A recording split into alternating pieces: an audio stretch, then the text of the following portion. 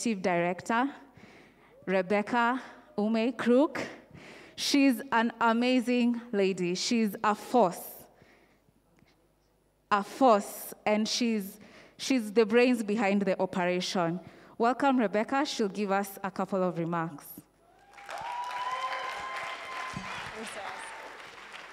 All righty. Good afternoon. Good afternoon. All right, we've got some folks in the back. There are some seats up here. I promise I won't bite. Sharmi won't bite you either. Come on in, come on in. Um, thank you for that beautiful intro, and wow, welcome to the first ReimaginED. My name is Rebecca Crook. Um, I'm a former teacher and principal, and I have the privilege of leading uh, Metis as executive director. It is so wondrous to be in the presence of so many people dreaming of and working for transformation of education. Um, we've got policymakers, we've got uh, parents, we've got practitioners, um, we've got funders, we've got concerned citizens. So just thank you. Welcome, welcome, welcome. Um, the genesis, both of Metis and of this wild experiment of a gathering, um, is pretty simple. Metis is a collective of teachers and education entrepreneurs um, and leaders working to change the face of education in Kenya. And we looked around and said, wow, there's a lot wrong. And if you've gone through the what is part of the exhibition, have we done that? Yes, amazing. You've seen that there's uh, a lot of injustices that are actually baked into our systems. And so this collective looked around and say, said, what is actually isn't acceptable? And what if, what if a better world is possible? What if we can be a part of co creating that world together, not only for the well being of ourselves, but for our children and for all of us, right? And so you know, what, what do we do with that? For me personally, um, I'm guided by my grandfather, Bop, who turns 98 in January. And he would always say to me, Rebecca, don't be so worried about what other people are doing. Worry about yourself. What are you doing? Now, granted, he was most likely talking about the dishes when I was complaining about my two younger brothers who were like not pitching in. But I think the lesson still remains. What are you doing? What am I doing? And so, in that spirit, uh, this collective then asked, can we move from what is to what if? And I think you've seen over 40 exhibitions of locally led, evidence backed, contextualized education innovations around the room. And these are folks who are asking bold questions. They're asking, what if libraries could be centers of community and creativity? What if dance could be a, vehicle for teaching life skills? What if music could be a potent pathway to mental well being? Right? And, and when we start answering these questions, or rather asking them, they lead us to other questions, not only about what we build, but how we build.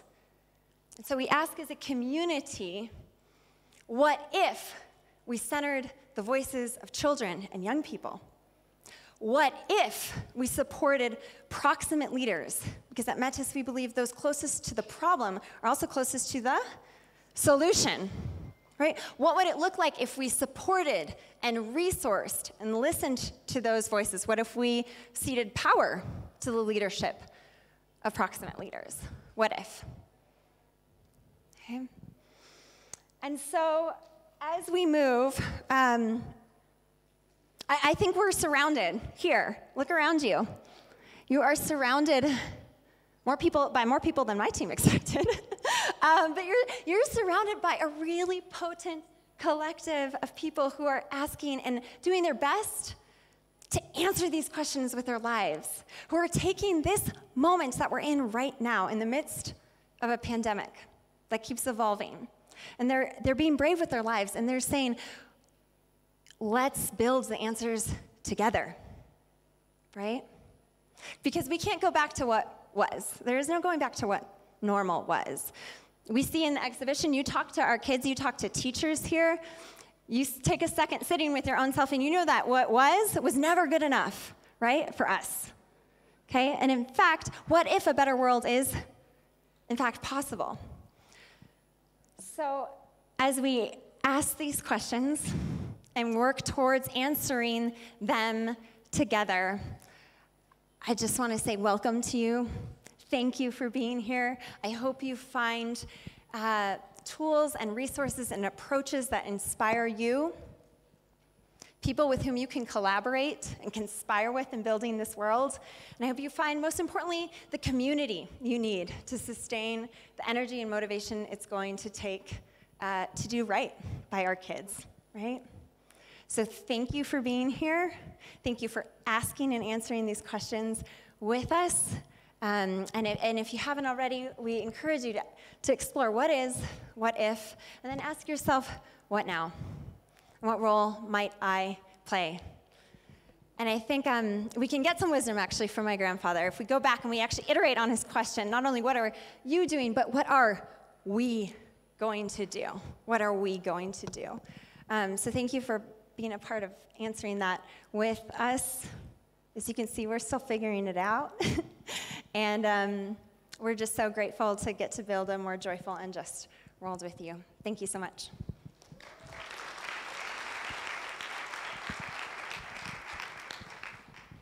Thank you so much, Rebecca. Those are wise words. And again, we, I think the take home here is what can I do going forward? Um, from here, from what you've seen in what is the current state of education in Kenya, um, and what if the possibilities, there are various innovations, people have come up with amazing solutions in their various areas. And then there's what now? So I have seen the possibilities, I have seen the current situation. What is my part to play? Ask yourself that question and make that commitment to yourself living here that this is the one thing I'm going to do after this to make a difference.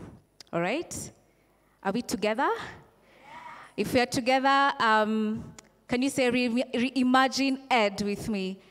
Imagine ed. Again, reimagine ed. We are reimagining education for our children, for ourselves, and our children's children, and the future generations to come. So up next, we'll have a panel discussion from um, amazing, amazing speakers of the day.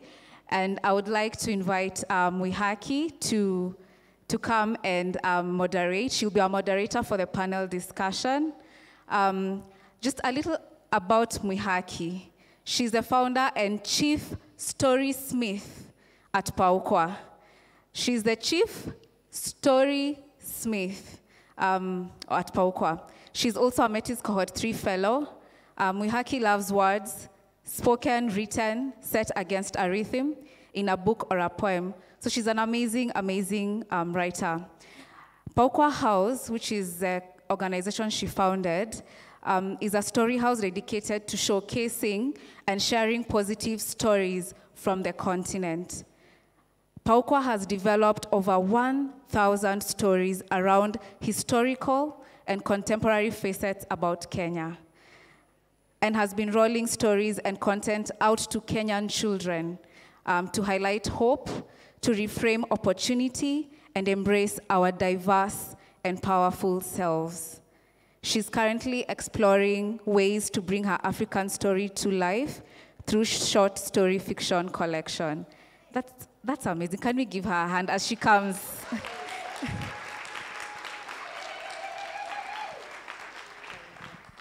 Thank you so much, Rose. How are we doing today? Can I make a confession? This is the first time I've come to a public gathering like this since COVID started. It feels a little weird, but familiar. Pamela Kidogo, yeah, and I'm excited to be in this room in particular because you know what? This is a room of my fellow tribesmen. People who are like, I am disturbed but I'm ready to make a change. Are we not those people? Put up your hand if you're that person. Are you of my Kabila? do you see what we can do?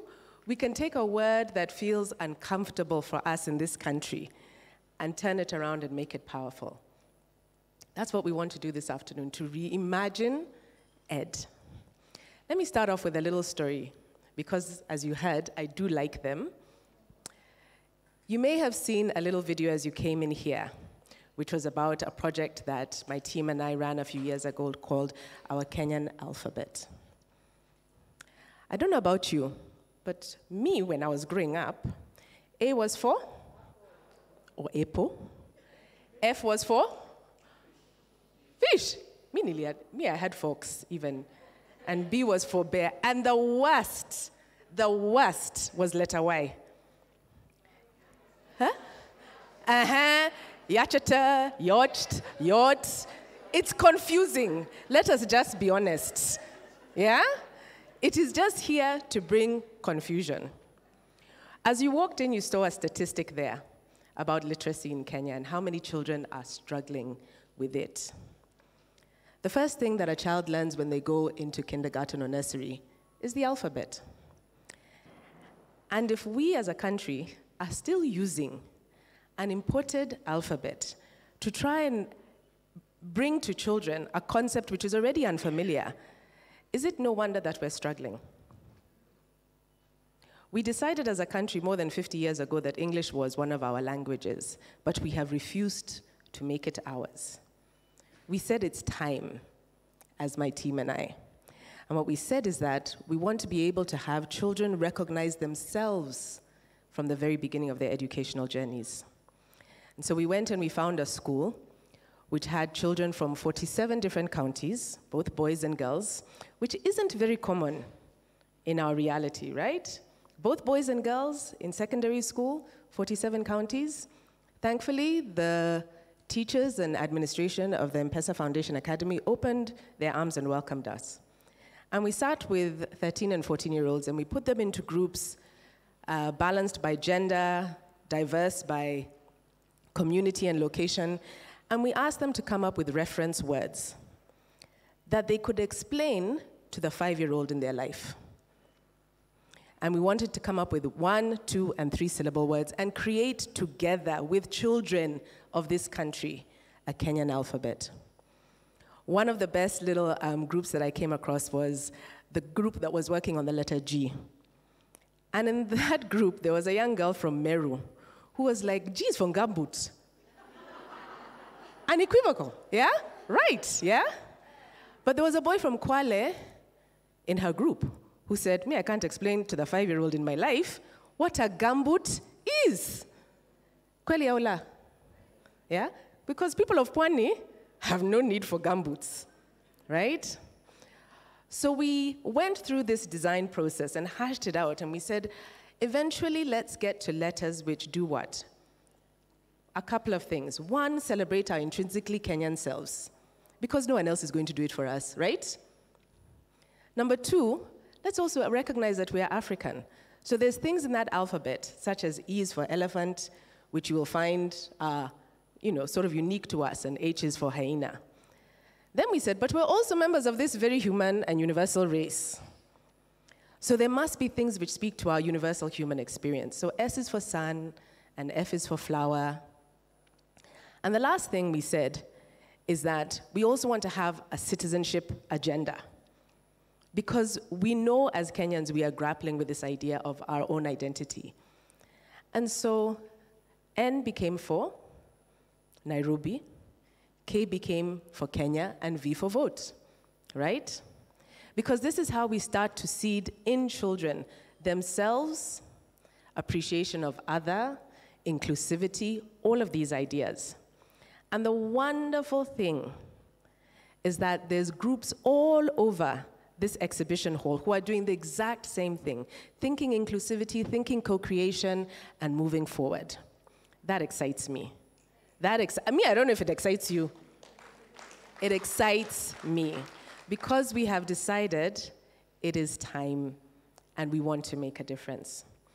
So today I have the esteemed honor of moderating and guiding a conversation between a couple of people who have traveled very different and diverse journeys and find themselves in this same space where they're trying to reimagine ed.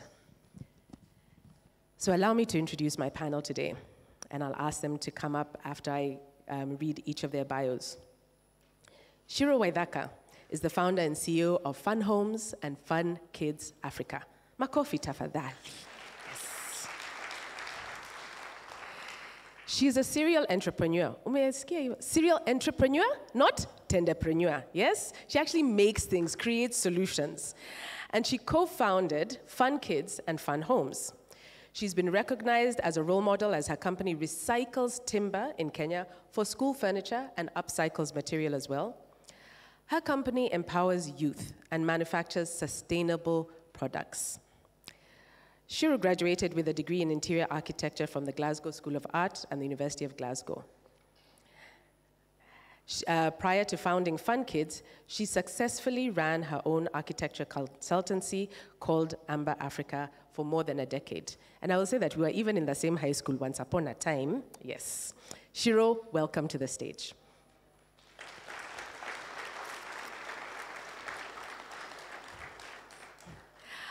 Our second panelist, you may know if you're of the radio waves or of the TikTok, because those are two very different generations.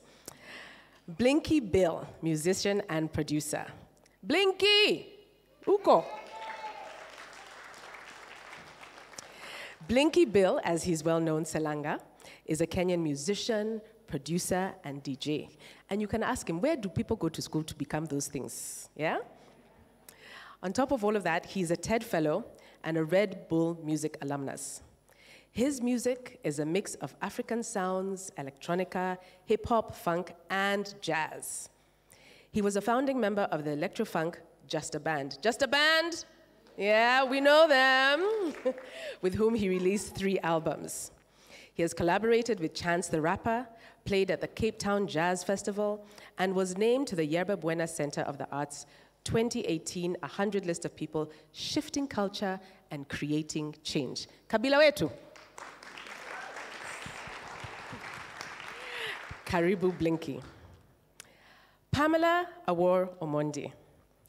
She's a 21 year old student currently pursuing her diploma studies in education and community studies as a second year student at Egerton. So, as the rest of us, okay, let me, you know, when I say us, I just assume that everybody's the same age as me. Some of us left learning a long time ago, right? So we may be a little distant, we may be parents, we may be policymakers. We have representation from the people who are in the system today, and Pamela is representing them. She also identifies as a teacher, a mentor, she's a scout, a facilitator, she's an activist, member of Red Cross, environmentalist, and a feminist. She serves on the Imaginable Futures Youth Advisory Council. Pamela, karibu sana.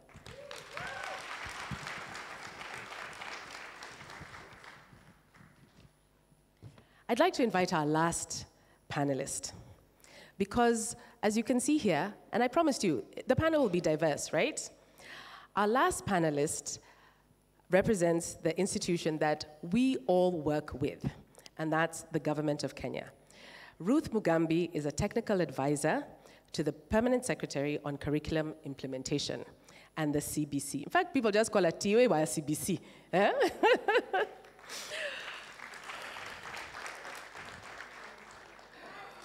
Ruth Ruth was a secondary school teacher, and she's dedicated the last 30 years of her life to serve in the public education sector.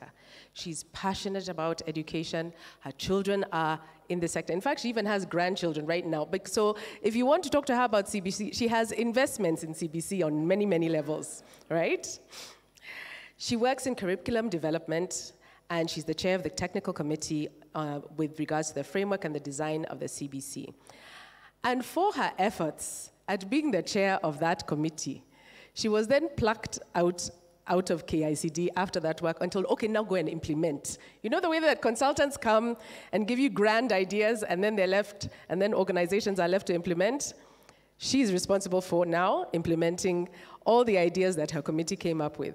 So she's in it, and she can tell us all about it. This is our panel today.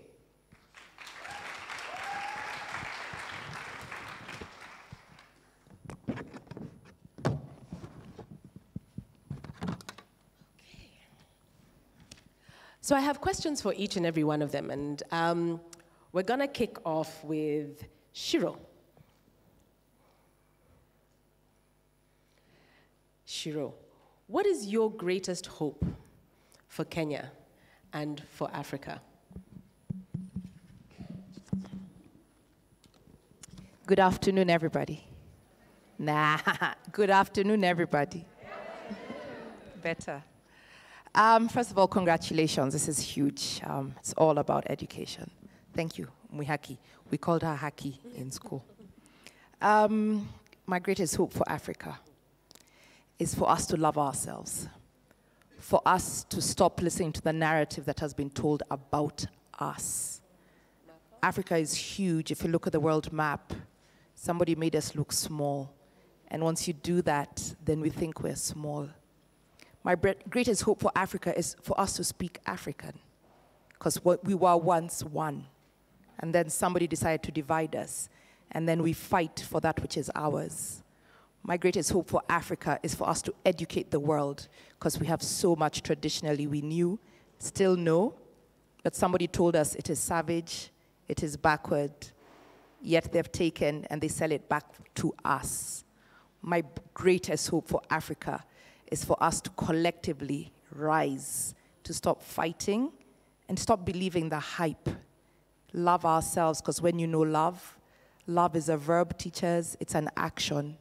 We must love ourselves, love each other, and we must unite, and we must go forth, and we must show the world we are Africa. Thank you, Haki. Thank you. Hey, hey, hey, hey. You, if you're not, if you don't have that same hope, you're in the wrong room. I'm sorry to say. that was beautiful, Ciiru. And I think that this is why we're here, because there's a recognition that unless we see ourselves and recognize the power inherent in who we are, there's no way that we're going to move forward in hope.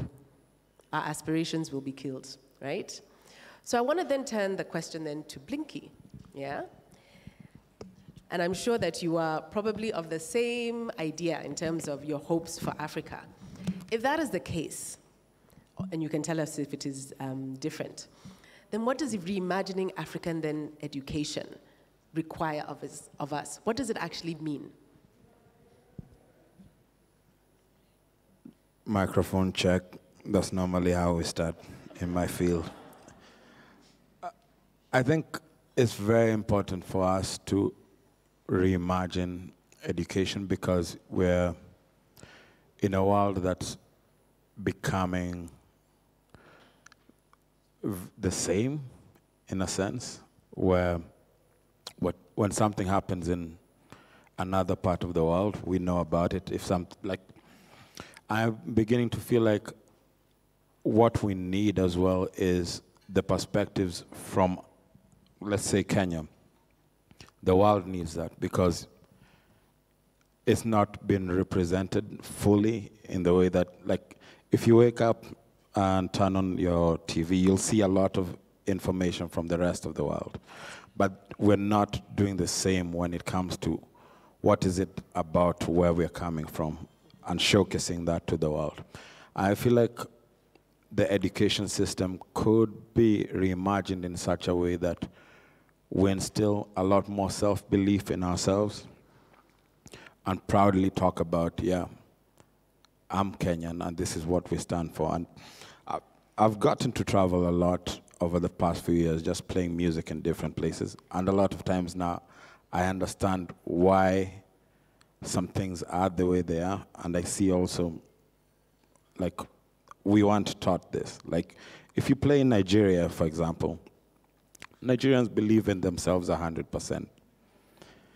Um, I'm Najao. Yeah. So there's a time I had a show. I had a show in South Africa, then came back to Nairobi, then went to Lagos. And the difference between, like, it was just a world of difference. And one of the things that, as Kenyans, that I've really fought against is that thing of you feel like we're like we're always welcoming other people's ideas, but never really strongly showcasing our ideas. And I think the reimagining that education needs to start with that. It's like we need to know what it is that we bring to the world, and also like be proud of it. I'll elaborate later, but. I absolutely agree with you. It's um, interesting. I was recently watching a documentary about World War II and the fight that took place in Burma. Now, we all learned about World War II, but I never learned about the Ghanaian, Nigerian, Gold Coast, Nyasaland, Ugandan soldiers who were all there. I knew there were a few Kenyan soldiers. I did not know about the West African Regiment. I did not know about, I had heard, I think, about the East African Regiment, but it struck me that why is it that when we learn even about world events, our Africanness, which was there, is actually missing? And is it a question of the education which we um, have inherited? Which brings me to you, Ruth. Then why is reimagining education important? What are we losing if we don't have these important conversations and steps towards reimagining? Uh, thank you, Mwihaki, for this opportunity. Good afternoon, everyone. Indeed, it is a pleasure for me to actually answer that question because education is actually, we say, is the backbone to any development, social, economic, even self, the development of self. It is about education. Education is dynamic. It cannot be the same throughout because education is supposed to address the needs of the individual, the needs of their community, and the needs of the, of the country at large. So if the nation and the country is dynamic, then education has to be dynamic. When, we, when I entered the institute, we used to define education as the ability to acquire, the acquisition of knowledge, skills, attitudes, and values in order to change behavior towards a desirable direction. But the question we are asking ourselves today, what is that desired direction? We have to ask ourselves, at the end of education, what kind of a person do you want to produce? And, we, and that is why in CBC we have what we call a vision statement. We want every child to be empowered, engaged, and ethical citizen a Kenyan ethical, and I know you all know why we say ethical, but I'll not go into details, but we want them to be empowered. Empowered meaning that they have ability to perform a given function in whatever context they find themselves in. So we want to give them opportunities to acquire and that is why we are talking about competencies, because that competency will en enable you to, to engage meaningfully in any situation you find yourself with. So we empower you, we provide you with the knowledge and skills. But we also want you to be engaged. Engaged is being able to apply what you have learned in your classroom in a, in a given situation. Engaged is the ability to do, to apply the skills and knowledge you have acquired. So we have to reimagine education because we are producing an education system for a future which we know nothing about. We are talking about the 21st century. Who knows what the 21st century will look like? Who knew that COVID was coming? Do we now go and change the curriculum because COVID has, uh, has come? But we provide, no, we do not, but we provide the curriculum with opportunities to adjust itself to the changing needs of the society. So the opportunities to plug in, um, to plug in issues of health. Health is one of the key pertinent issues. So there are opportunities for that. But if something else happens, the curriculum has avenues to produce that. And that is why we have to reimagine education and not dream or imagine that it will be the same as it was yesterday. It has to be different. We have to imagine it, reimagine it so that it continues to be adaptive to the changing needs of this country and the world and the individual at large. Thank you. It's so true. The conundrum, of course, is can the people who are or were um, educated in a, one system be the ones to bring about that change? I was recently challenged by my son, he's 12, I think going on 26, but anyhow, um, he's a terrible speller. And I have brought it to his attention. And his response to me was, but when I put the words, when I type the words in Word, that red thing comes underneath to tell me that it's spelled wrong. So why do I need to spell? Me, I was brought up on Better English. Do you remember that textbook, Better English? Yes. and spelling was paramount. And the challenging thing is that I actually couldn't, I mean, I was, he was wrong, but also I realized that he rarely writes. Typing is his modus operandi. He's a digital native. So, as you're saying, we need to prepare children for a world that we know not. And for those of us who are a little far from the learning uh, that has been rolling out of late, my question to Pamela then is in the recent years, because you are representative of those who are currently still in the system, what was learning for you like when I was growing up? Just so that we can contextualize whether we're still talking about the same thing or not. Can have the mic. Hi, everyone.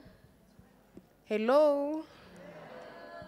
You should be happy because they are all alive. Okay, learning for me while growing up wasn't easy because um, the curriculum had not changed.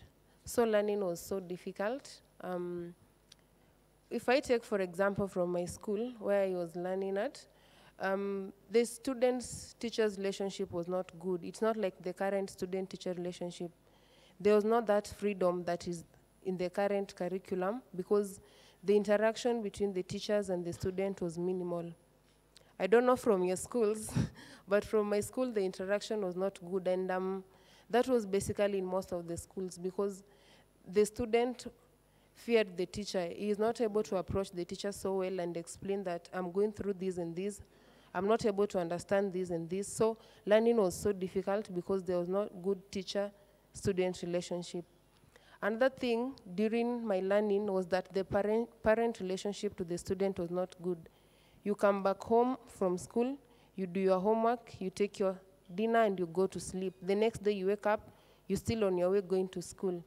Your parent is not there to check whether your assignment is done, whether your homework is done, whether your uniform is in good state, so you find that the parent-student relationship was not good compared to now, where there are rules set. There are some schools that rules are there that a student has to go the number of uniforms to school. The student, the parent has to do signature for an assignment done. I don't know if that is it, but that is what is happening currently. The parent has to sign for assignment that was done. So the parent the parent-learner relationship during my time of learning was not okay. Another issue during my learning was there were taboos. Girls were not allowed to relate with boys. Like um, during engaging, you find that girls were in a separate place and the boys were in a separate place. But currently, if you're very keen, both genders are engaging freely. So during that time, there were taboos that girls were not allowed to engage with boys freely, so learning was very difficult. Another challenge that I faced during while growing up in school was that um, the social well-being of every individual, like the physical education, the health education, the mental, mental, mental education of students were not keenly taken care of. But currently in most schools, you find that um, students are being mentored. There is a school regulation or there is a program that is allowing for every student to be mentored. Students are taking part in physical education, physical activities like the PE, games. They freely go and um, engage with other schools and they're socially built because they are learning from different people, different diversity. So they are able to engage with different people. So that was not there in the early learning because not every, not every school had the program or not every school was keenly empowered to allow that to take place for the physical development, social development, mental development of every student. Another challenge that I faced while growing, while learning, was that um, we were in schools that, back in the ghetto, we were in schools that were not well equipped. They were not well resourced. So maybe there's a, someone that has a talent. You can dance, you can sing, and um, you, that talent, you're just with it there because now I'm in a school back in ghetto. There is nothing I can do with this talent. So that was a challenge because um, I have a talent. Maybe I know how to draw. I know how to dance. I know how to do something that is apart that is different from what I'm being taught. That is different from the theory that I'm being taught in the books. But I'm not able to use it because I don't have the platform to. Thank you. Thank you, Pamela. I'm going to turn to Ciiru and, and, and challenge you based on um, some of the things that Pamela has shared. Because just looking at the two of you, I think that you come from different generations. Yeah? so, so, my question to you, Ciiru, is I know that you also um, come from an arts background. Is this reimagined education that we are now going through this, this sort of process that we're moving towards, do you think it's going to take us to the Africa that we need, the one that you talked about, the one that you hope for, right?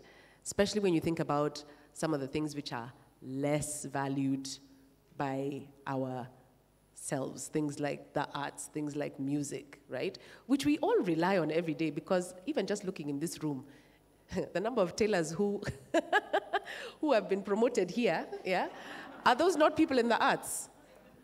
Ciiru. How much time do we have for this question? Um, yeah, first of all, I hate the word talent. Oh, you have a talent. It is a career, it's not a talent. Okay? We don't have passion for what we do. You don't need passion. We have a skill that is paid for. Don't tell somebody paint for me because you're passionate or sing because you're passionate. Pay them for their skill. Sorry if you don't have a skill. so do not use the word talent. Do not say you have a passion. You cannot feed your family on passion. It's a career. The tailors you're talking about are not tailors. We have big fashion industries. They're called conglomerates.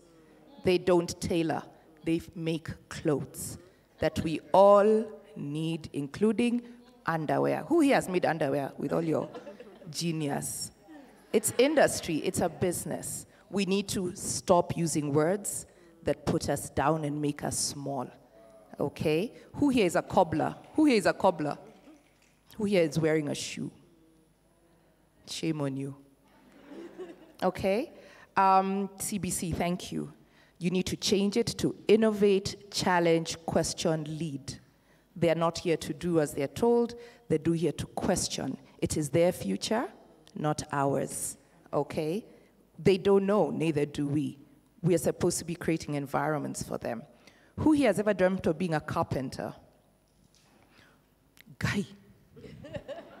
Nobody here wants to be a carpenter? Who here wants their child to be a carpenter? Who here does welding metalwork? Who here teaches that? Are you kidding me? What are you sitting on? What are you sitting on? Chairs. Who made it? What do you sleep on? Who made it? What house do you live in? Who built it? I ask the question who wants to be a carpenter? I am a carpenter. I have a factory in Kikuyu, and we are carpenters. And then we use technology. Technology is an enabler, it is not the end. So we use hand tools, and our machines also are computerized. We need to stop this thing of technical skills. They are careers. We need to stop seeing fashion as a thing. Without these fashion designers and tailors, how would we look? Boring. Naked. It's not so bad, but it can get cold. Okay? We need to stop this whole thing of wearing white shirts in school. Nairobi is dusty, Kenya is dusty. It's hot, we sweat. Why aren't we giving jobs of school uniform, if we must, to the local tailors, fashion designers? Why does government make us wear central looking things? Why that child in Kwale and the one in Mandera compared to those in Central? Why do they wear those sweaters? It's so hot. and then we are playing. And what is this uniform for PE? Why aren't we just in shorts? and sneakers that we've made where we come from. Dear schools, dear learners, educators, why are you buying books and not planting fruit trees? Because the children are hungry. Without nutrition, it doesn't matter how amazing and how you reimagine education if they can't eat. If they can't eat, they can't think, they don't grow. We have a problem of malnutrition and obesity because we don't have the right food. Can you imagine going to school to beg for food? There is no dignity in education. You must reimagine and rethink and reset. Please, this is not a good to have conference, this is a crisis conference. Others, we are doing zero by our children. Look at children in class. The computer will do nothing if they have scabies on their heads, if they have kwashiorkor. Don't give them an app. Feed them first with food that's around them. Grow the trees. You have the land, we have the weather. Then give them a laptop. We cannot feed off apps. We cannot grow on apps. We cannot love ourselves with apps. We need to change this. You need to panic tomorrow, today, tonight. We need to treat this as an actual crisis. The pandemic is here. The one we don't talk about is lack of quality education in Africa. Good people, this is not a joking matter. This is not a ticking the box. If you don't love yourselves enough, you will never love the children of this continent and will never change education for them. Thank you. Thank you, Ciiru. Like the children in front of us here said, you must look at the man in the in the mirror. The change starts with each and every one of us. Blinky Bill, I was not joking when I said actually, how does a person become a Kenyan musician, producer, and DJ? Because me, when I went to school, those things were not there. Yet we have a whole industry in this country that is about people creating music. Let me ask you, you know, when people wake up and they ostensibly go to WhatsApp for their morning devotion, first thing they see is WhatsApp, what's the latest? My Instagram, TikTok, it's music, it's creation. How are we going to grow the next generation of producers who give us that identity and excitement and that danceability that we saw here? I think, I don't think that it's, ev- it's ever been something that's been taken seriously in terms of the education. Even when I remember when we were learning about music, and this is something that I've done over the years, is I've spent a lot of time remixing older songs because I, in my head, I've always felt like I don't think that when this thing was made, it was hard in the, in, with the intention that the composer, whoever made it, wanted to. So it slipped through the cracks. And so when other people talk about their Bob Marleys, their Hugh Masekelas, their Fela Kutis, who do we talk about in Kenya? Because we've never taken it seriously. So, and we, we've had great musicians or great artists of different kinds in this country. But because we've never, we've always seen everyone else, but not the people who are here, even when you're studying about it, it's like as a by the way. While if you look at someone like Burna Boy or Fela or Wizkid, they'll always tell you, I owe this to Fela Kuti. It's like we have our Fadhili Williams, we have our, uh, in fact, I was, Fadhili Williams has been sampled by so many, like Harry Belafonte, Miriam Makeba. We don't know this. And so what ends up happening is that if we don't know, then we end up borrowing the info from the people that know. And we end up learning about people who. Anyway, to go to your question. How did I learn all these things? It's because I'm passionate about it. I went to I went to Kenyatta University and I studied sports science which was not really the, the course that I wanted to go to, but you know that time where you really don't know what you want to do. I knew I wanted to make music. I knew I wanted to be a musician for the rest of my life. But there was no one around me that was being supportive. Everyone was saying, this is impossible, this is impossible. But in my, in my head, I know that, okay, if no one's done it before, there's an opportunity for me to be the first person to do it. So if I remember my mom saying, ah, you're going to be playing in bars or things, because she doesn't know any better, and I can't even blame her. So eventually, when I left KU, the keyword is left. It, yeah, not graduated, because it was killing my spirit, and I, it was uh, is a decision that I've never regretted. If anyone told me, nah, I don't regret it, because also I've ended up doing a lot of things that no one's done before, in terms of even previous Kenyan musicians. So the thing that I ended up doing is just YouTube University, where that's became, that became my university, and I started applying to a lot of courses where I could learn that. So I went to the first fellowship I got was it's called OneBeat in the U.S., where you ended up. I studied al- alongside 30 other musicians from around the world. Then the next year, Red Bull Music Academy.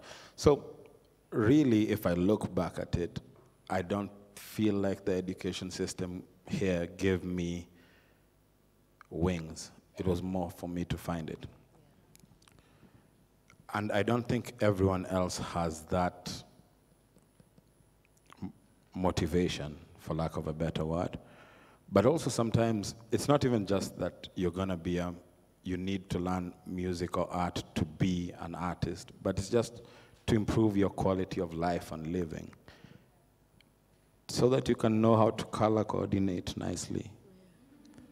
Like I'm seeing everyone in the room here.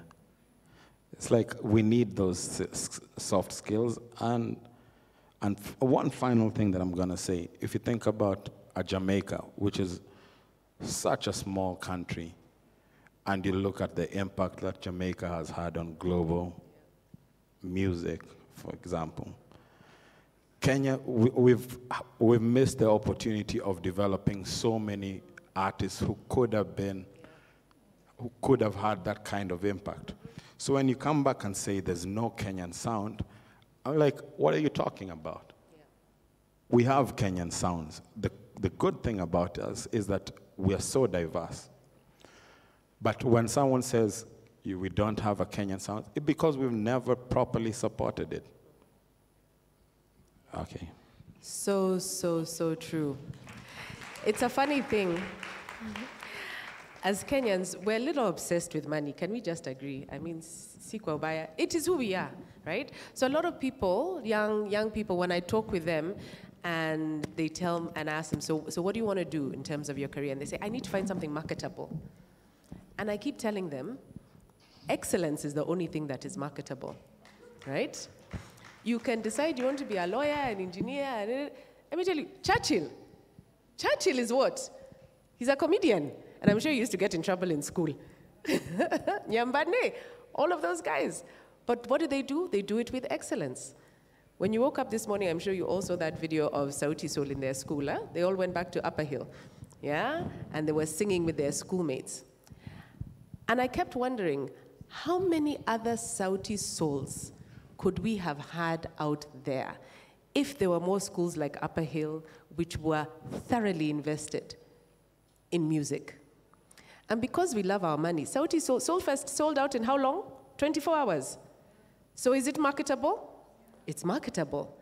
So, Ruth, my question to you then is how are we creating the next generations and finding spaces and innovating and allowing for the next Blinky Bills, the next Sauti Sols, the next um, Churchills, people who are not usually on uh, a path which requires an exam, but they have something and they could be built further through support?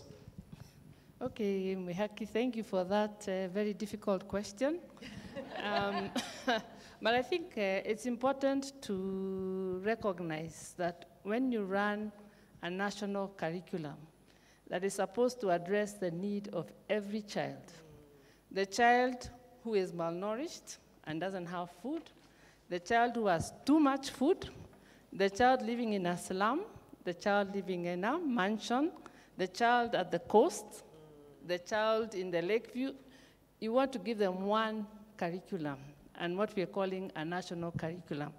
So in the competency-based curriculum, which I can talk for hours about, it gives, that is why we talk about outcome-based as opposed to objective-based. Those are two different technologies.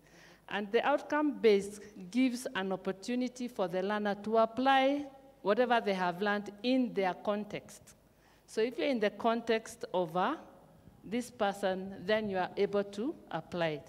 When we talk about nutrition, you would understand your context. I am the one living in an, an, a place where there's not enough, isn't it? So where can I get it in my village? So it's about your context, what it is around. But maybe let me talk about CBC, and I'm happy that he is here, and I'm hoping that he can be one of our CBC ambassadors because we are trying to promote music in children, but our parents do not want their children to do music. So we need ambassadors to help us do this. So CBC is actually in three levels, which probably people don't understand because that is how it has technically been developed. There are three levels. The first level, we call it early years, and that is the child up to the age of uh, eight years. And our focus, and you'll be happy to hear this, is literacy, the ability to read, write, speak, and listen the ability to use good language, appropriate language, social skills. So there are three things, literacy, numeracy, and social skills. That is the focus, and that's why you see that in CBC we ask children to speak a lot, to read a lot, they talk. And we are using the inquiry-based learning, where we are asking children to ask questions. If you don't know, ask. If you don't like being asked why, why, why, we, ask, we are encouraging children to ask why, why, why is this that? Why, why? Because through answering those questions, they get to learn and form an opinion for themselves. But in middle school, that is between grade four and grade nine, we are offering a broad curriculum. Now, what is a broad curriculum?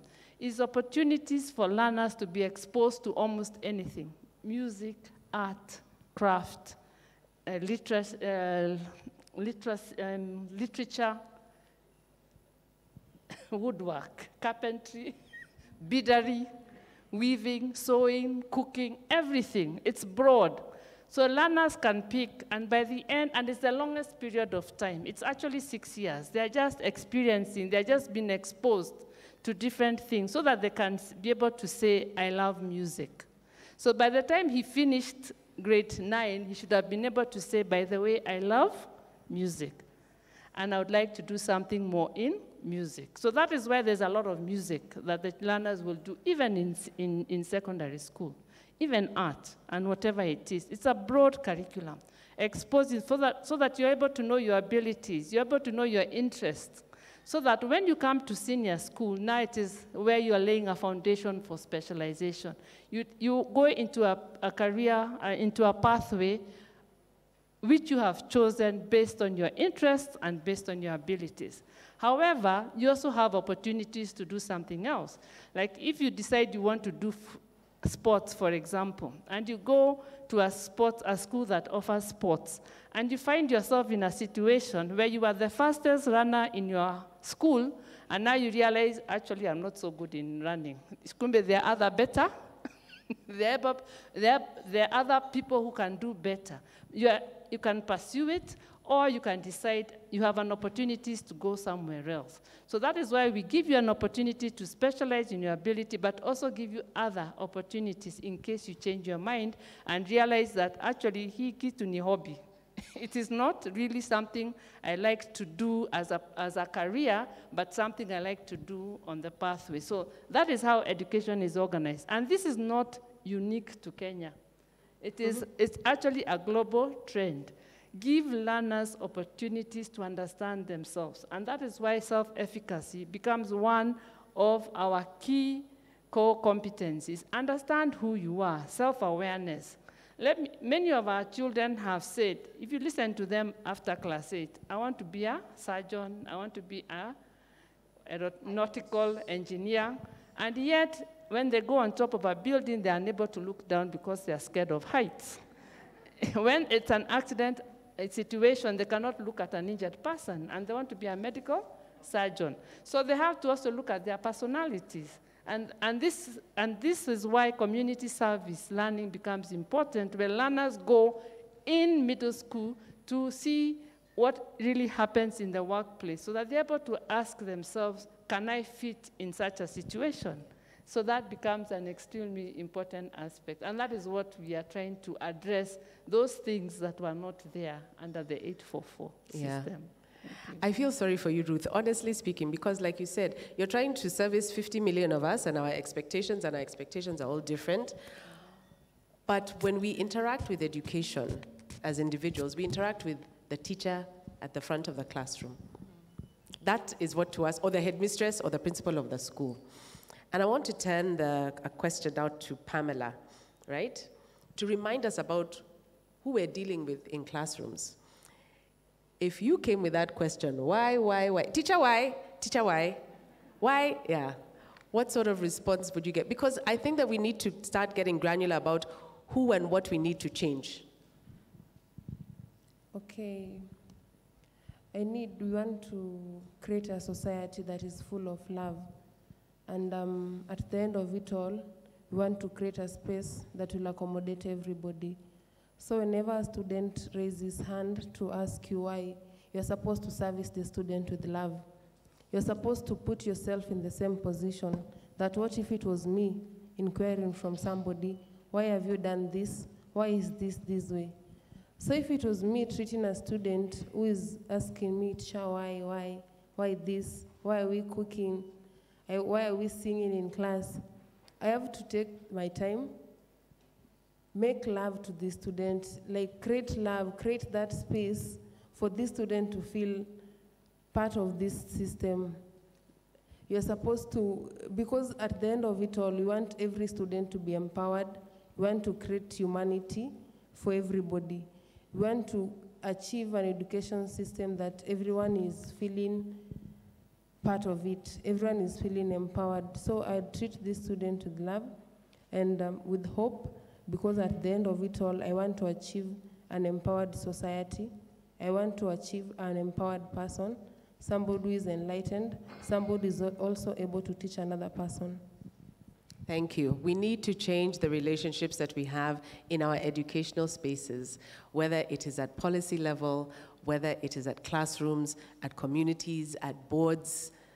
That is a wonderful end and a very, very good beginning for the rest of us. Please say thank you to this wonderful panel. Thank you so much, all of you.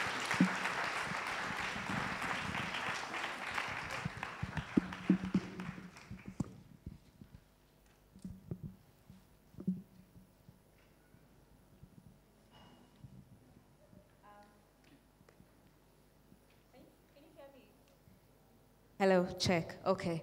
Thank you so much. Um, you can take your seats. I can. Thank you so much, our panelists. Um, wasn't that mind-boggling? I don't know about you, but I'm going to have a meeting with myself after this. I will call myself to a meeting and we will discuss because I interact with children all the time, my kids' friends, and it's important to have that mindset of what kind of future um, do we want for these kids. Um, and even for adults, what kind of learnings um, do you want them to experience? Um, when Pamela was talking, I remember I had a deski, okay? For those who are in you know, Nairobi schools, I had a deski, and it was those long desks, and we used to put bags to separate us. You sit there, and I sit here. It was a, it was a boy. So you sit there, and I sit here, and there's this huge separator to make sure that we don't interact. And we went to the extent of even doing a line on the desk itself with tape Like, don't cross here because I really don't want to interact with you because you're a boy. And I don't want to interact with you because you're a girl. So this kind of mindset has to change. And change begins with? With? Reimagine? Reimagine? Awesome, awesome. Thank you so much, um, for moderating. Um, so let's give her a hand very provoking conversations. Thank you to our panelists for making time to come and um, for just that very insightful conversation. So we are moving to an interesting section of our program today where we are recognizing um, people who have you know, gone out there and made a change and, you know, tried to do their bit to make a change, and we will be awarding them and, um, and just charging them to just continue doing what they're doing. And for this session, I will be inviting Sharmi, um, who is the board chair at Metis, and she has supported Metis' work since its inception. She also serves as Harambee's chief impact officer, ensuring that young people across Africa access the jobs and support they need through partnerships with government, the private sector, and civil society. That's such an awesome initiative. Welcome, Sharmi.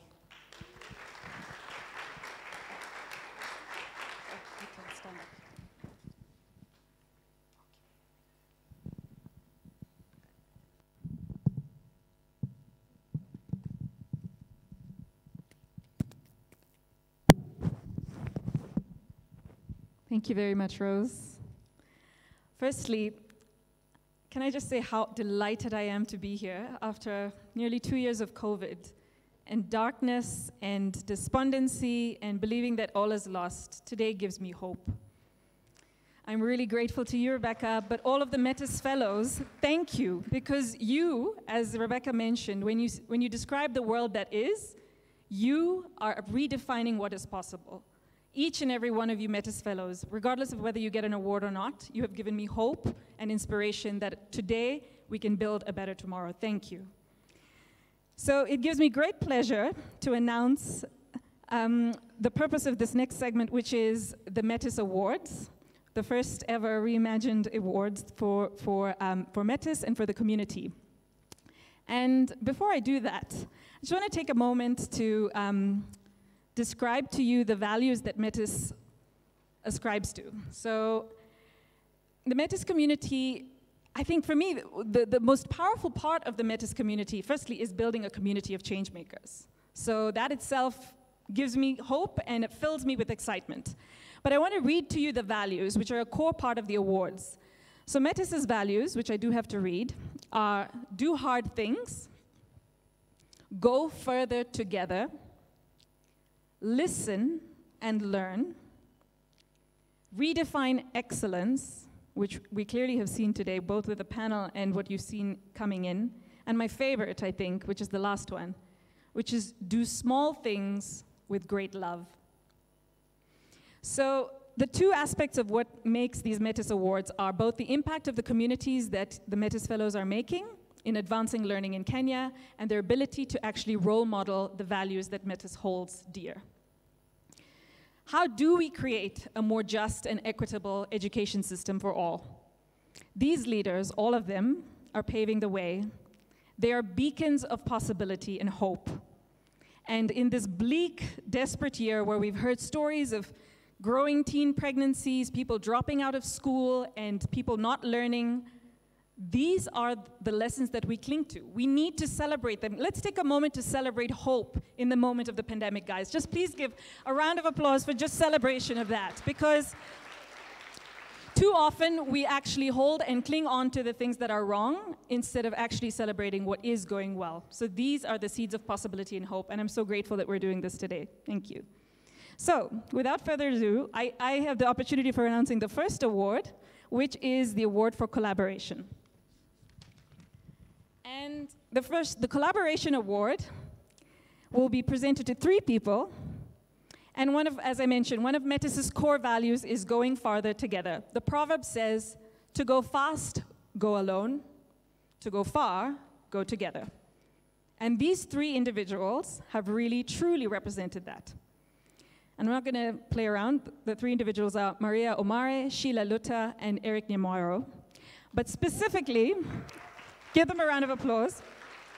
Let me tell you why. Firstly, um, I don't know if anyone knows what special day we're celebrating today, but today is the International Day of People with Disabilities, globally, right? December 3rd. And we, I'm really, really honored to actually call out this award to the three of these, these three Metis Fellows for several reasons. Since 2015, the Maria's Action Foundation has provided direct services for children and families with disabilities in Nairobi's informal settlements, ensuring that children and youth have the wraparound support they need to thrive. During her Metis Fellowship, we saw Maria grow from a small two bedroom office in Kibera to a three story community hub.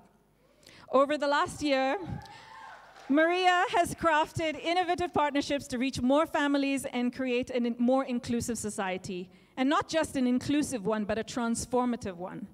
Not only in Nairobi, but across Kenya. Together with Eric and the STEM Impact Center and Sheila from the Ministry of Education, Special Education Directorate, Maria and the Action Foundation will reach nearly 3,000 girls with disabilities across Kenya's eight regions with STEM programming that will equip them with practical skills and career opportunities. Let's give them a round of applause, guys.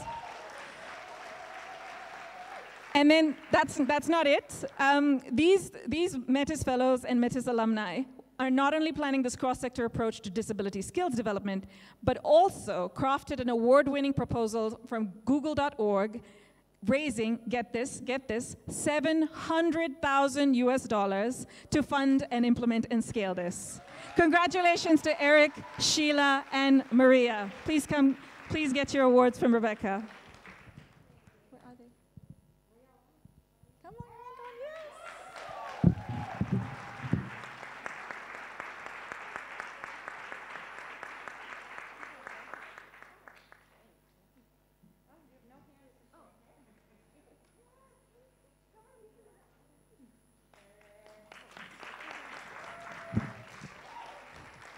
As they come up, please take a picture, come stand here. And Rebecca, if you could come over as well so that we can take a picture with you. Thank you. Congratulations, Sheila, Eric, and Maria. Well done on the Collaboration Award.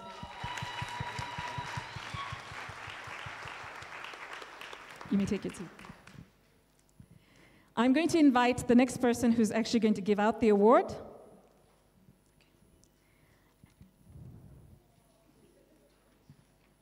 Thank you.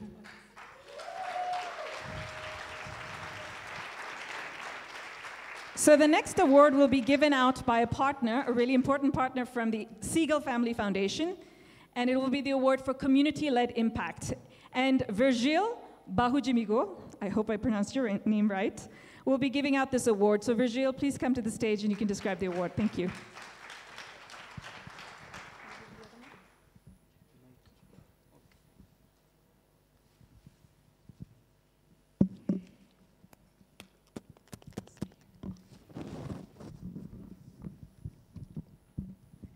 Thank you, Sharmi.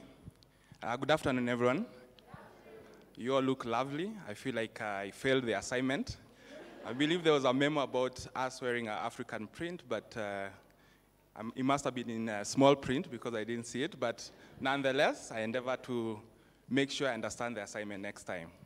So my name is Virgil, or Vilgil, as my mom calls me, Vahuji. So I'm a native son of Rwanda, but uh, no, I'm a native of Rwanda, but a proud son of Kenya, if I may say so. Yeah. So, yeah, I'm here representing the Segal Family Foundation. Uh, I'm not here alone. I'm here with uh, two of my colleagues. They can wave wherever they are. Okay. So a brief, a brief about the Segal Family Foundation. We are a private foundation that supports 300 plus uh, organizations in sub-Saharan Africa, and 60 of those organizations are here in Kenya. Uh, we have a few here in the crowd, but uh, I won't name names.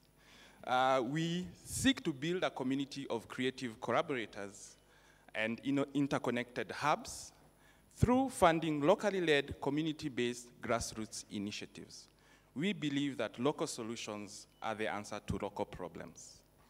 Without further ado, I want, I'm here to present the Community-Led Impact Award. And I'm so proud and privileged to present it to Jeremiah of PICO, or Pastoralist Integrated Concerns.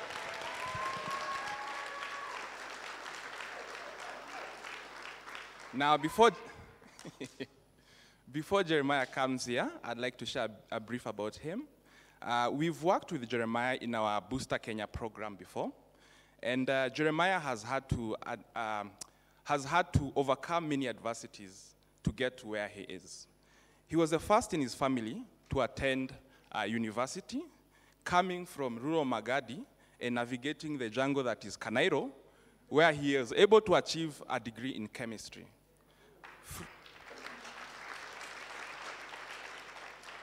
From then on, he was able to secure a good job, but something in him was not settled.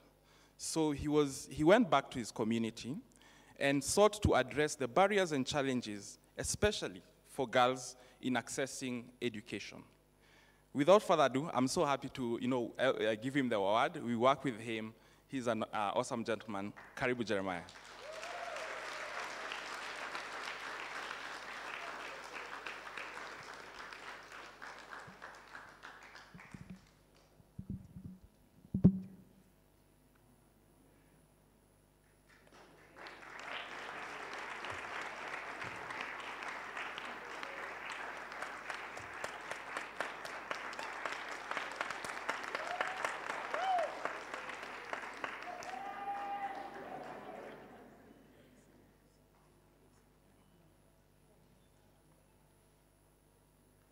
The next award is going to be the Systems Shaping Award given out by Imaginable Futures, which is a partner for this event. And I think, I don't know, I don't see Teresa, but there she is. Okay, great. Welcome, Teresa. Teresa Mbagaya from Imaginable Futures. Thank you.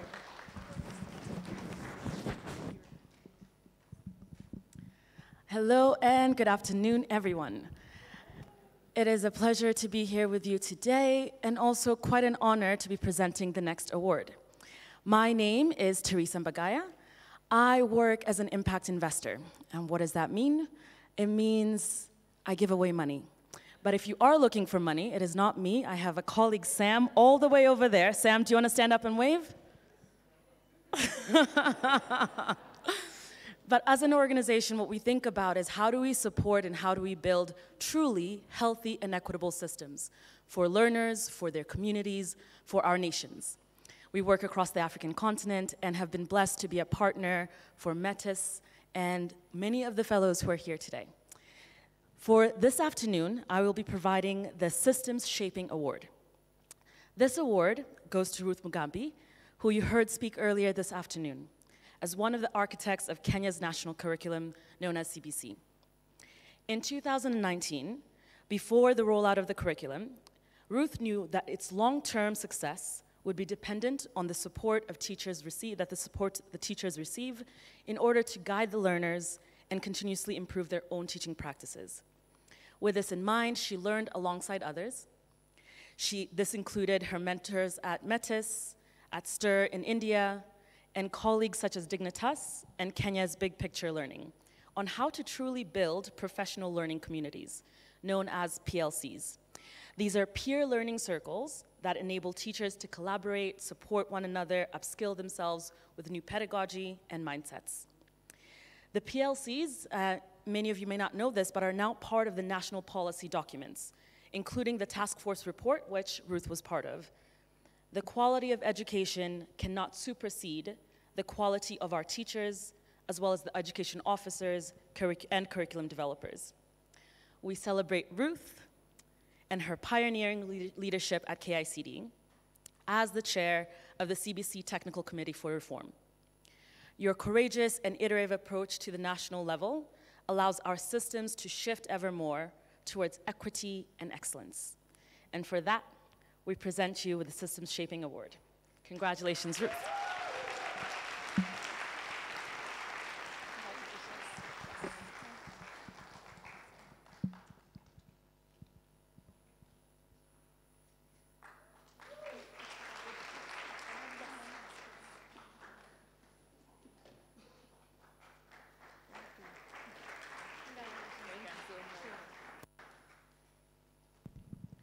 Thank you, Teresa, and well done, Ruth. the next award is the Equity Warrior Award, which will be presented by um, Naftali Moroki. Where are you, Naftali? There you go.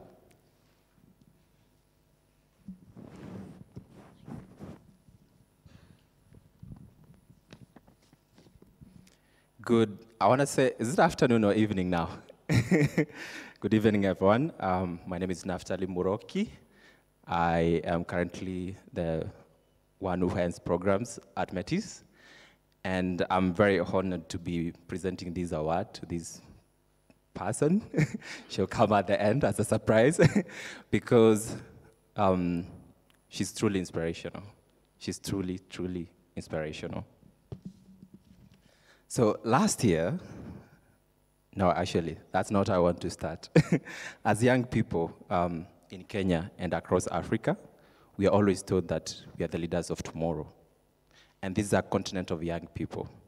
So I ask you, what if the continent was actually being led by young people? Last year, when all our schools were closed due to COVID 19, I was fortunate enough to participate in a food distribution program in Ruiru, Kiambu County. And I was fortunate enough to meet one of the most inspiring young people in Kenya. While studying for an undergraduate degree, she was inspired to start an organization that would feed primary school children in our community and ensure that they did not miss school due to lack of food with contributions from her friends and family, she started the organization. Today, that organization is called Food for Education. They have grown from feeding 25 children in a makeshift kitchen to now having distributed of having distributed or fed more than 6 million kids over the last eight years.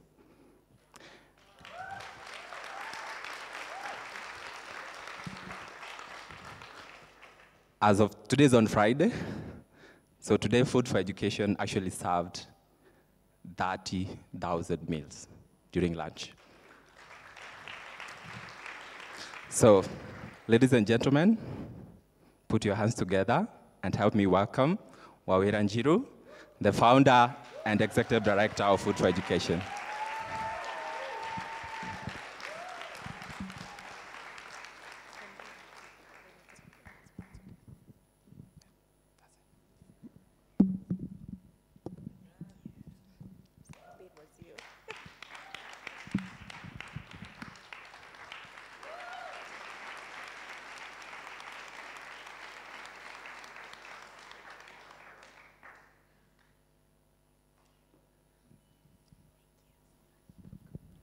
Thank you, Naftali, and well done, Wawira.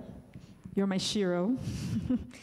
um, the last award is for liberatory learning, and perhaps this is my favorite one to introduce. I'm super excited to introduce a young learner from the Children in Freedom School, Gumi Galma. Thank you for joining us, Gumi, who will be presenting the Liberatory Learning Award. Thank you, Gumi, for joining us.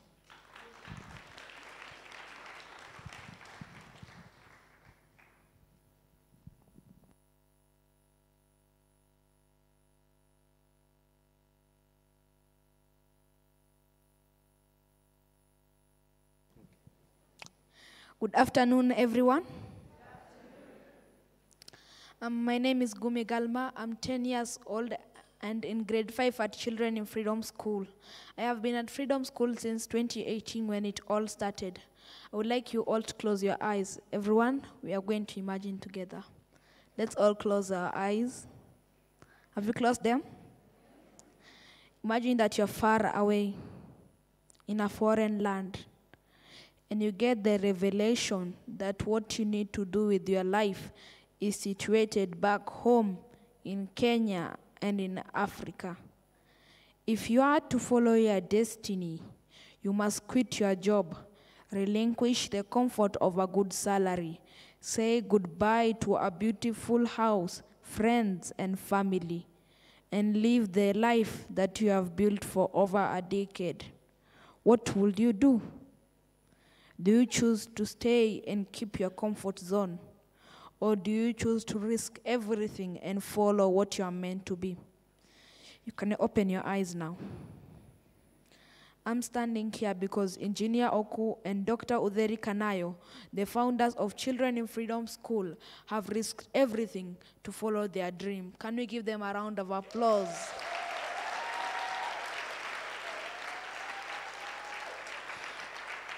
In, in 2013, they quit their jobs in the UK and relocated back to Kenya to grow an, a scholarship and Afrocentric mentorship program that later morphed into the very first uh, Afrocentric school in the whole of Eastern Africa, Children in Freedom School. I am a beneficiary of this school and a beneficiary of their courage and sacrifice. What if they never came back? Many Africans in the diaspora never come back. Where would I and the hundreds of freedom scholars be? Back in 2017, if you, will, if you would have told me that a school will be a fun place where I will learn to love my black African self, become multilingual in foreign and language, foreign and local languages, be and S in literature, maths, and programming, I would have thought it an impossibility. At Children in Freedom School, we are prepared to proudly embrace our African heritage and not wish to run away from it, as has been the norm. I love my melanin and I love my genius. I can do anything I put my mind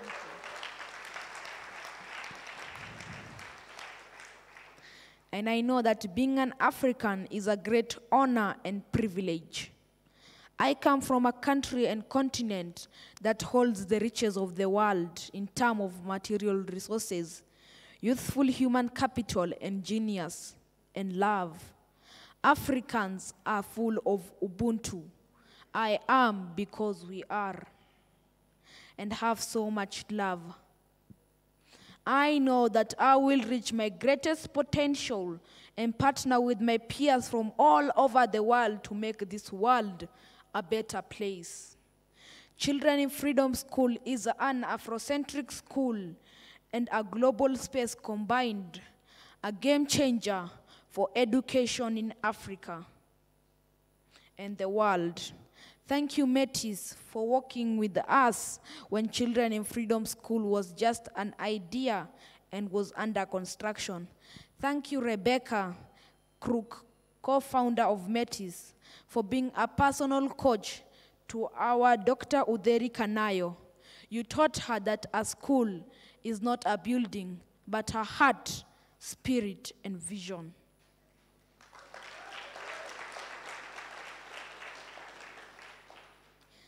Thank you all to the friends and family of, and colleagues who cheered up Dr. Uderi and Engineer Oku Kanayo as they ventured into this journey. Thank you, Oku and Uderi, for risking your all to set up the best school, an Afrocentric school that has changed my life and is giving African children the opportunity to know who we are, love ourselves, and embrace our genius. I would like us to go on with the Children in Freedom National Anthem. Whatever I do, I will do with all my heart. I will never give up. I must win, and I will never boast. I will strive to achieve more because I know I will do anything can put my mind to. So take your time and do your best. Thank you.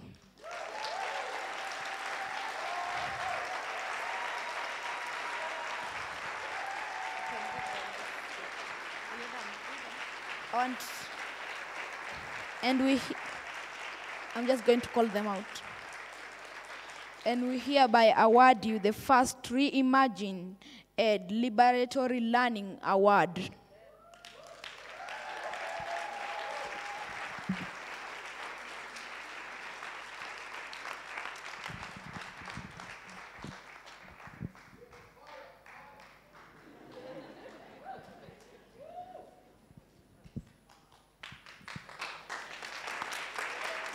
Wow.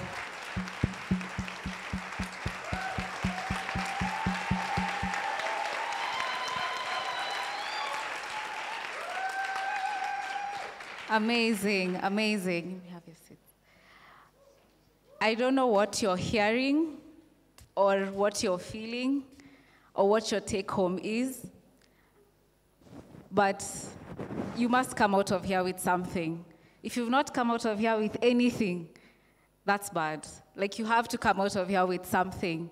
Um, as we think about reimagine, reimagine, amazing. So we have come to the end of our time together.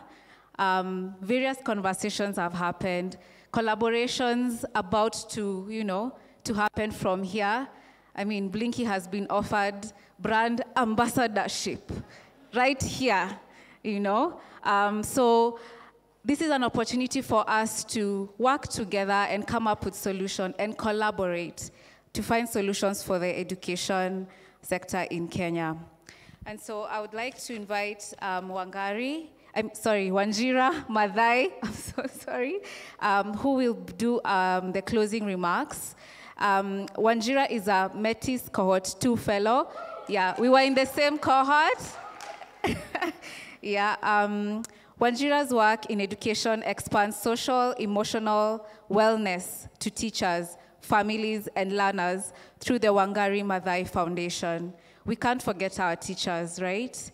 Um, she's also Vice President and Regional Director for Africa at the World Resources Institute and a prominent activist, environmentalist, and educationist. Um, welcome, Wanjira, for the closing remarks.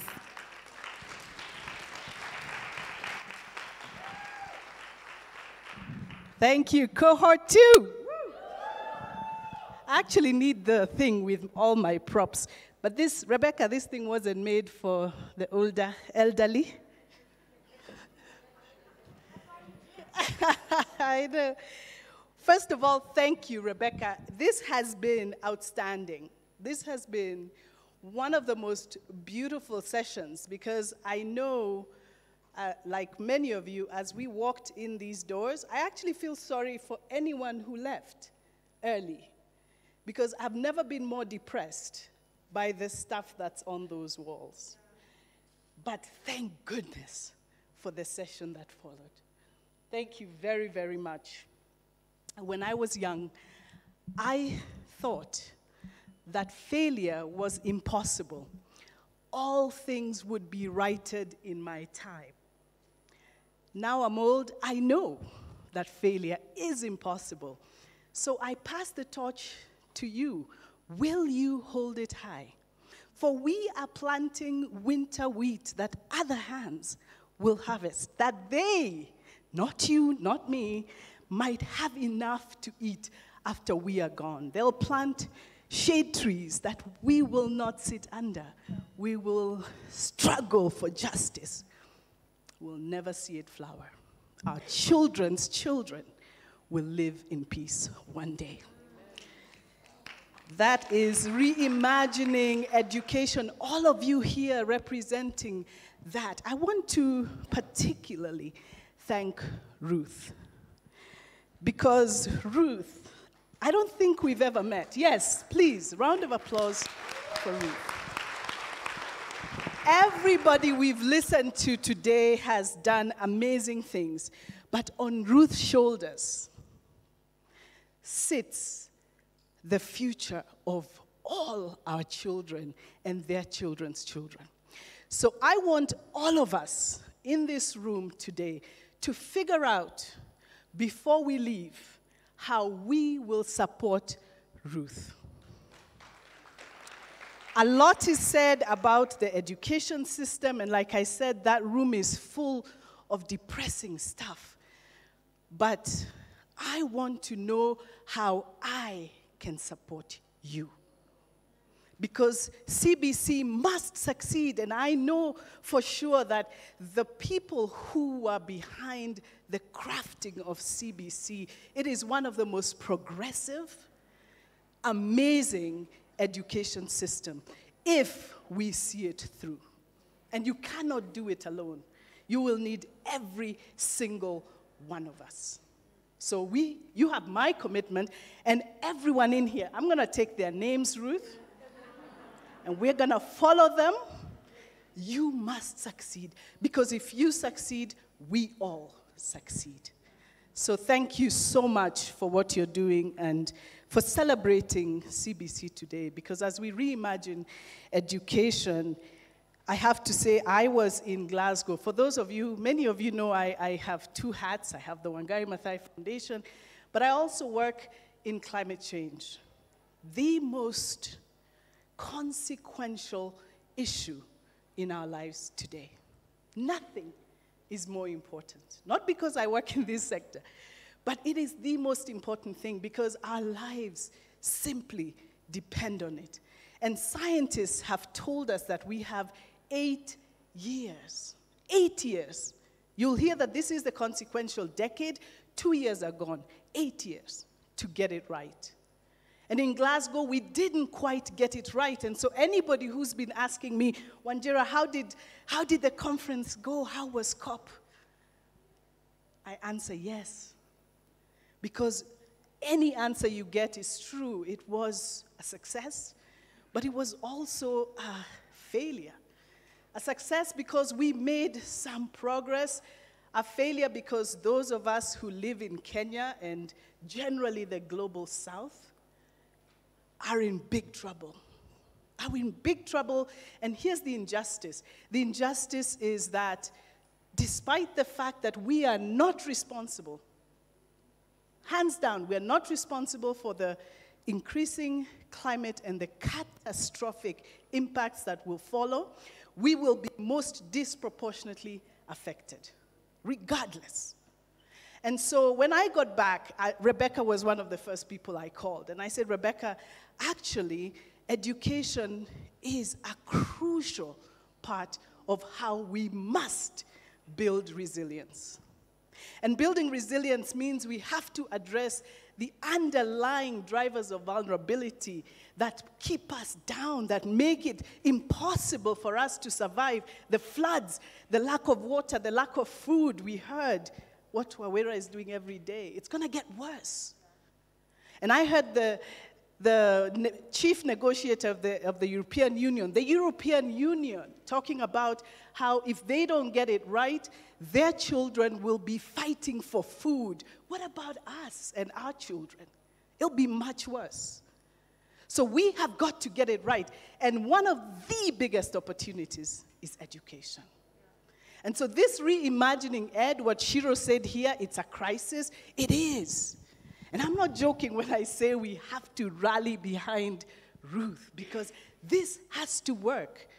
That to unlock the vulnerability that most of our children face today is to address the education gap that we might break out of this poverty cycle that keeps us down. It is going to get worse. And so let's all just dig in because it is, it is time to reimagine. And I think we have all the tools, we have all the data, we have all the people. And in Kenya, we are lucky. We have the CBC. Let's make it work.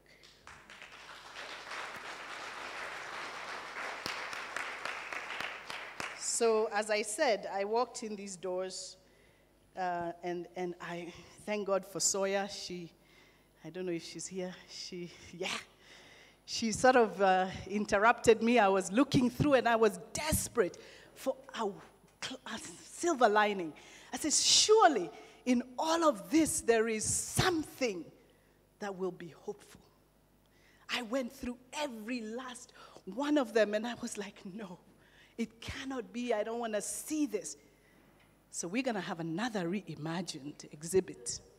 And that exhibit is going to be full of Oderi and Oku and Mwihaki and Metis and Jeremiah and Sheila and Eric and all the people I saw here. That's the silver lining we have. And I remember you heard about the Wangari Maathai Foundation. We have a mission to nurture a culture of integrity and purpose in children that they might dream big. Dream big. But that can only happen if we have that silver lining. Because if you don't have a silver lining, you have nothing to fight for. You have to believe in something. And these, this session just restored every ounce of motivation, energy, commitment, and passion that I have for making all of this work. So thank you, Metis, and thank you for doing this today because if you hadn't done it, um, if anybody left, I, I hope you'll send them the recording because this was really, really good. I love what Blinky said uh, earlier about people, you know, going in one direction, not knowing what you want to do. And, and it's so funny, Blinky, because I listened to Eric Wainaina once, and he said that in every single situation, there are musicians and artists trapped as doctors and neurosurgeons and all sorts of things that our education system needs to free them to be the best that they can be. Because ultimately, in the final analysis, we all want the same thing. We all want the same thing. We all want to fulfill that higher purpose that each of us are meant to fulfill. And it is in the hands of our teachers mostly what they say, what they do, how they say it, how they do it, that makes all the difference. Thank you for being here today. Thank you, Rebecca. And see you next time as we reimagine together. Thank you, Wanjira, um, for the closing remarks. I would like to encourage you to at least see some of the exhibitors that you haven't seen, and most of all, pick a sticky note. There are sticky notes everywhere pick a sticky note, write your commitment, and go stick it in the what now section. Just you don't have to write your name. You can write your name if you want to, but just write your commitment and go and stick it there um, after this. So thank you all for coming. We have bitings in the um, terrace, the middle terrace outside, um, network, and yeah, we'll see you in the next ReimaginED.